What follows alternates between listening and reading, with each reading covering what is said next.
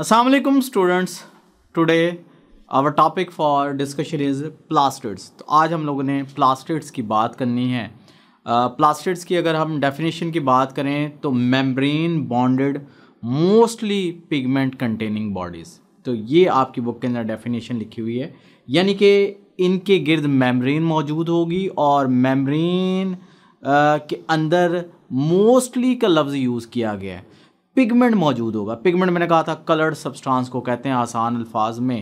आ, तो दो बातें हैं और दोनों कंफ्यूजिंग बातें हैं।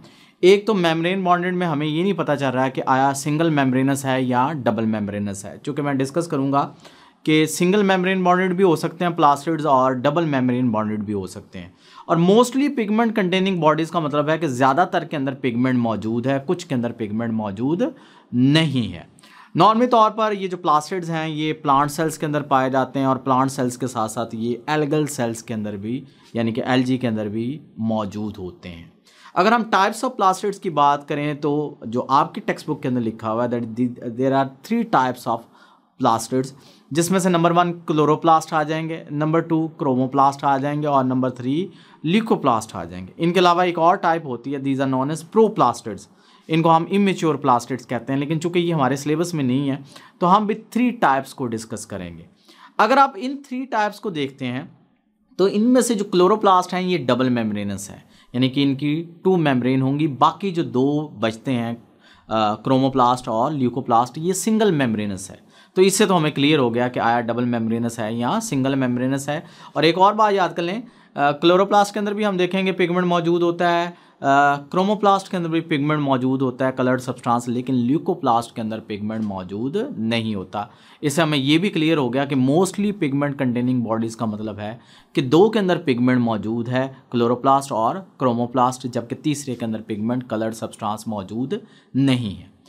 पहली टाइप को अगर हम स्टार्ट करें दैट इज़ क्लोरोप्लास्ट अगर हम डिटेल्ड स्ट्रक्चर को डिस्कस करें क्लोरोप्लास्ट की।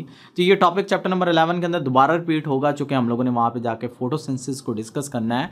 लेकिन जितना यहाँ पे लिखा हुआ उतना अगर हम डिस्कस करें तो जो क्लोरोप्लास्ट हैं, ये जो फोटोसिंथेटिक प्लांट सेल्स होते हैं, इनके अंदर डबल मेम्ब्रेनस स्ट्रक्चर पाई जाती हैं। जारी बात है क्लोरोप्लास्ट जो डबल मेम्ब्रेनस ऑर्गेनेले है और इस डबल मेम्ब्रेनस ऑर्गेनेले के अंदर एक ग्रीन पिगमेंट पाया जाता है और इस ग्रीन पिगमेंट को बेसिकली ये ऑर्गेनिक कंपाउंड है और इस ग्रीन पिगमेंट को हम क्लोरोफिल का नाम देते हैं। और ये जो क्लोरोफिल है बेसिकली ये लाइट को एब्जॉर्ब करेगा, जो सनलाइट एनर्जी है, और लाइट को एब्जॉर्ब करने के बाद अल्टीमेटली इस लाइट को कन्वर्ट किया जाएगा ताकि अल्टीमेटली फ़ूड की प्रोडक्शन करवाई जा सके।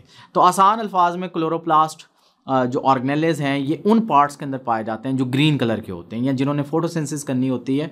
और नॉर्मली तौर पर प्लांट में चूँकि लीफ फोटोसिंथेसिस कर रहा होता है, और ये बात याद कर लें कि क्लोरोप्लास्ट मेम्ब्रेनस ऑर्गेनेले हैं तो क्लोरोप्लास्ट यू क्रियाड के अंदर मौजूद होंगे क्लोरोप्लास्ट प्रोक्रियाड के अंदर मौजूद नहीं होंगे। जिस तरह से हम डिस्कस करेंगे, जो फोटोसिंथेटिक प्रोक्रियाड हैं फॉर एग्जांपल बैक्टीरिया हैं, या इनके अंदर क्लोरोफिल तो मौजूद होगा क्योंकि क्लोरोफिल ने लाइट को एब्जॉर्ब करना है फ़ूड की प्रेपरेशन करवानी है, लेकिन जो प्रोक्रियाड्स हैं, इनके अंदर क्लोरोप्लास्ट मौजूद नहीं होगा। अब जो सबसे इंपॉर्टेंट चीज़ है जो क्लोरोफिल मॉलिक्यूल हैं, ये रिजेंबल करते हैं जो हीम ग्रुप ऑफ़ हेमोग्लोबन है। अब हेमोग्लोबन आप लोगों को पता है, ये प्रोटीन है जो हमारी बॉडी के अंदर ऑक्सीजन की ट्रांसपोर्टिंग का काम करती है।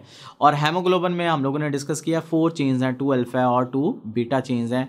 और हर चेन के अंदर आपको एक प्रोस्थेटिक ग्रुप नज़र आएगा, जिसके साथ एक ऑक्सीजन मॉलिक्यूल बाइंड करेगा दैट इज़ हेम ग्रुप और हेम ग्रुप अगर आप देखते हैं तो हेम ग्रुप की अगर हम बात करें जो प्रोस्थेटिक ग्रुप के तौर पर एक्ट कर रहा है इस हेम ग्रुप को अगर आप सामने रखें और साथ में अगर आप क्लोरोफिल मॉलिक्यूल को दोनों को मैं पैरल रख लेता हूँ तो आप देखें कि हेम ग्रुप और क्लोरोफिल मॉलिक्यूल की स्ट्रक्चर रिजेंबल कर रही है। एग्जैक्टली exactly, अगर मैं कहूँ तो गलत नहीं होगा लेकिन आइडेंटिकल नहीं है। बिल्कुल एग्जैक्टली exactly नहीं मैं कहूँगा काफ़ी हद तक आप देखें कि मुशाबियत है।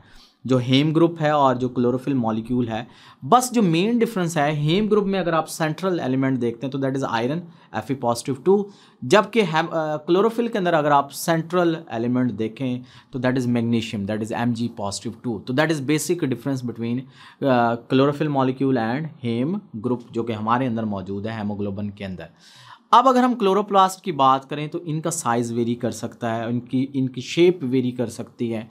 इनके डायमीटर की अगर हम बात करें तो that is four to six micrometer इनका डायमीटर है।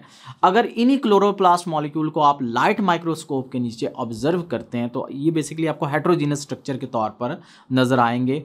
हेट्रोजीनस का मतलब होता है आपको कि डिफरेंट चीज़ें आपको नज़र आएँगी, जो मिक्सअप की होंगी। और बेसिकली इस पूरी स्ट्रक्चर के अंदर जो हेट्रोजीनस स्ट्रक्चर है, इसमें आपको स्मॉल ग्रेन्यूल्स नज़र आएँगे, जिनको हम ग्रेनम कहते हैं।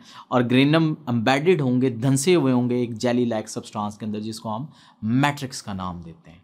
तो ये तो होगी जी सिंपल अगर आप लाइट माइक्रोस्कोप से क्लोरोप्लास्ट को ऑब्ज़र्व करते हैं। लेकिन अगर आप अल्ट्रा मैग्निफिकेशन की तरफ़ जाते हैं अल्ट्रा स्ट्रक्चर की तरफ़ जाते हैं, यानी कि इन्हीं क्लोरोप्लास्ट मॉलिक्यूल को आप इलेक्ट्रॉन माइक्रोस्कोप के नीचे ऑब्ज़र्व करते हैं तो आपको थ्री डिफरेंट पार्ट्स आपको इनके नज़र आएँगे। जिनमें से नंबर वन एनवेलप हो जाएगा नंबर टू स्टोमा हो जाएगा और नंबर थ्री थैलाकार्ड्स हो जाएँगे। तो ये तीन पार्ट्स आपको वाजह नज़र आएँगे। अगर हम एनवेलप की बात करें, अगर हम कवरिंग की बात करें क्लोरोप्लास्ट की तो अभी मैंने डिस्कस किया है कि ये double membranous double membranous structure है।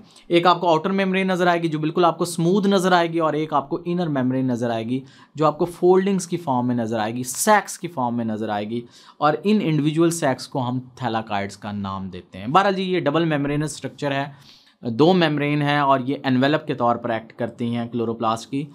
स्ट्रोमा की अगर मैं बात करूँ तो that is liquid portion of chloroplast और ये ज़्यादातर जो वॉल्यूम है क्लोरोप्लास्ट का ये ऑक्यूपाई uh, कर रहा होता है या कवर कर रहा होता है। और बेसिकली ये वो फ्लूड है जो सराउंड कर रहा होता है थैलाकाइड्स uh, को। और इस फ्लूड के अंदर आपको राइबोसोम्स मिल जाते हैं कुछ और स्मॉल सर्कुलर डीएनए मिल जाता है। अगेन आपको दो चीज़ें मिल रही हैं स्टोमा के अंदर। आपको जेनेटिक मटेरियल भी मिल रहा है मैप भी मिल रहा है और आपको राइबोसोम्स यानी कि प्रोटीन फैक्ट्री भी मिल रही हैं।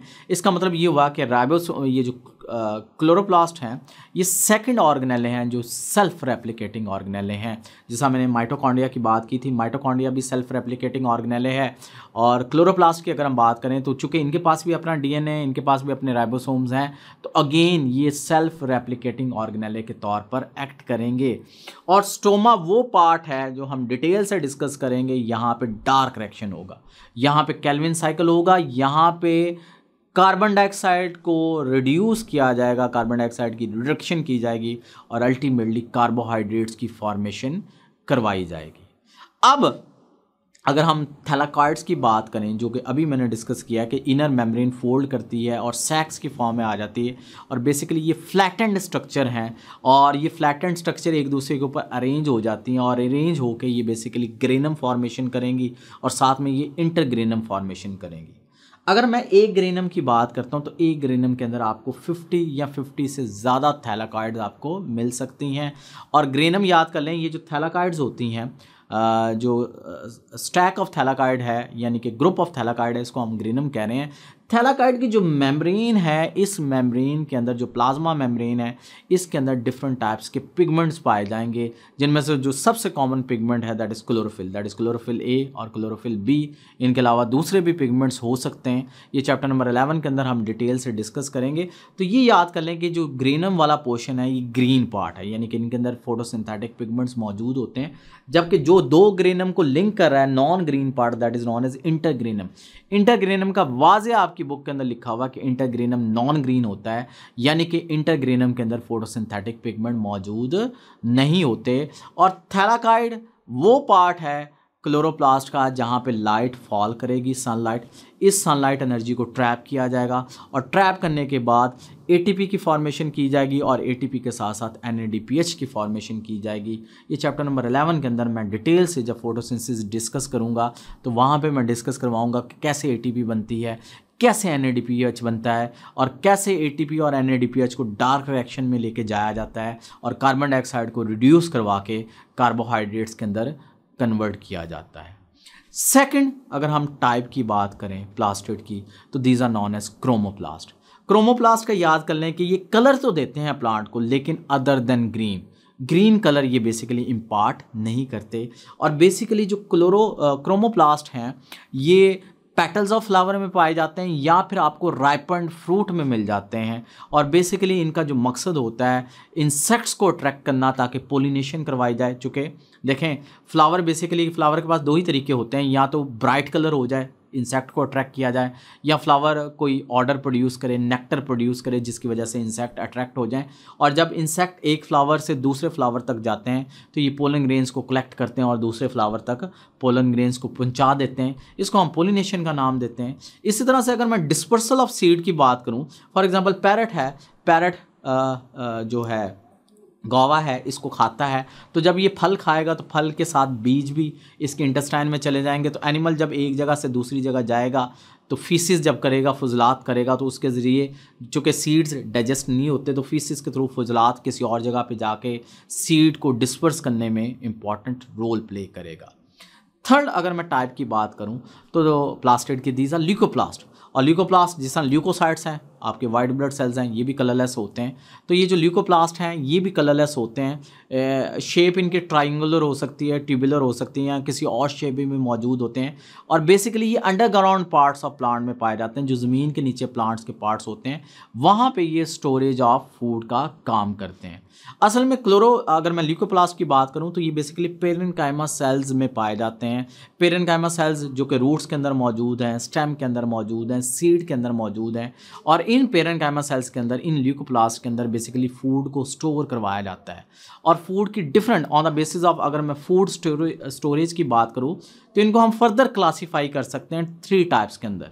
नंबर वन अमाइलोप्लास्ट हैं, और amyloplast are concern with the storage of starch number two elaioplast हैं, और elaioplast are concern with the storage of lipids और नंबर थ्री जो टाइप्स बनेगी ल्यूकोप्लास्ट की दीज आर प्रोटीनियोप्लास्ट और proteinoplast are concern with the storage of proteins. तो ये जी डिफरेंट कैटेगरीज हम लोगों ने बना ली प्लास्टेट की डिफरेंट टाइप्स और उन टाइप्स को हम लोगों ने, जो थ्री टाइप्स की, उनको हम लोगों ने डिटेल से डिस्कस कर लिया। अल्लाह हाफिज़, कल इंशाल्लाह नेक्स्ट टॉपिक को डिस्कस करेंगे।